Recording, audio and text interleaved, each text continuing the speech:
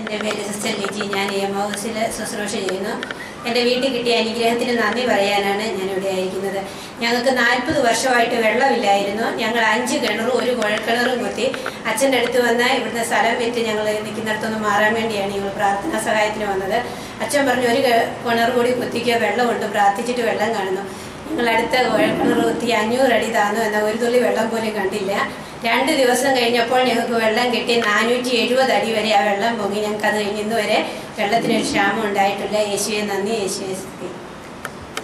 ദൈവത്തെ നമുക്ക് വരണ്ട ഭൂമിയിൽ നീരുറവ നൽകുന്ന കർത്താവിനെ നമുക്ക് മഹത്വപ്പെടുത്താം. Alleluia alleluia